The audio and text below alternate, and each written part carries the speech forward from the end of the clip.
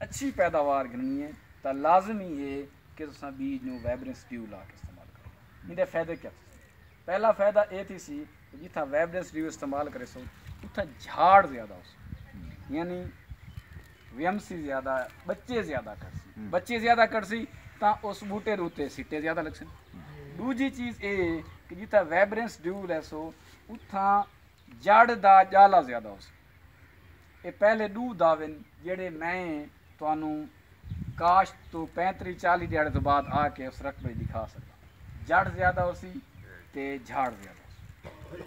ਯਾਨੀ ਕਿ ਤੁਸੀਂ ਇਸਤੇਮਾਲ ਕਰੋ। ਮੈਂ ਖੁਦ ਆਸਾਂ ਟੱਪਾ ਮਾਰ ਕੇ ਦੂਹੇ ਪਲਾਟਾਂ ਦੇ ਵਿੱਚ ਪੌਦੇ ਪੱਟ ਗਿਣ ਸੂ ਉਹ ਕੋ ਧੋ ਗਿਣ ਸੂ ਦਾ ਜਾਲਾ ਦੇਖ ਗਿਣ ਸੂ ਔਰ ਉਸ ਦੀ ਉਸ ਦੇ ਬੱਚੇ ਗਿਣ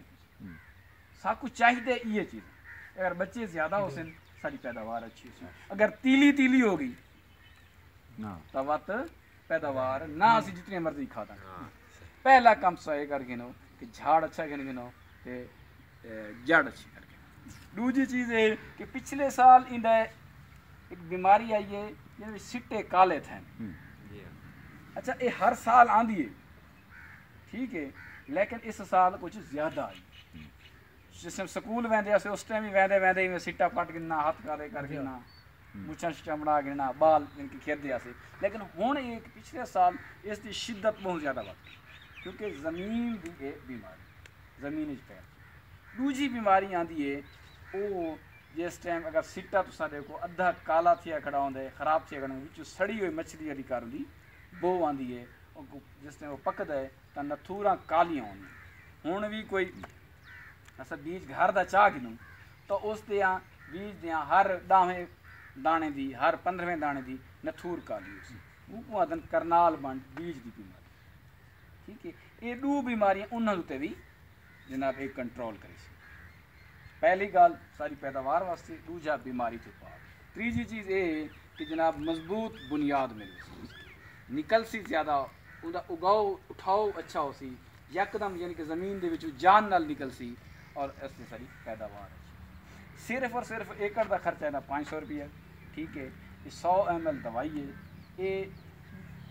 2 ml ਫੀ ਕਿਲੋ ਦੀ, ਯਾਨੀ ਕਿ 50 ਕਿਲੋ ਦੀ ਇਹ ਦਵਾਈ ਹੈ, ਵਿੱਚ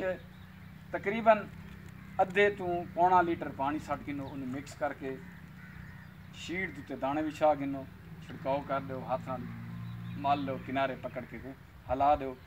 ਜਿਸ ਟਾਈਮ ਉਹ ਲਾਲ ਰੰਗ ਦੀ ਥੀ ਵञे ਉਸ ਟਾਈਮ ਉਹ ਬਸ ਕਰ ਦਿਓ 10 15 ਮਿੰਟ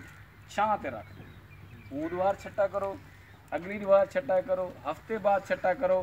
पंद्रहवीं ॾियार छटा करो गट्टू सी के वला रख दो सुख वनी ठीक है तो कोई मसला नहीं तुसा कर सकते ठीक है महीने ज़्यादा तक सेव नहीं करनी दह तो बारह ॾियणा पंद्रहं ॾियण तक तुसा को कर सकते आज टाइम में यानी कि आज कर सकते हैं हफ्ते बाद सारी पानी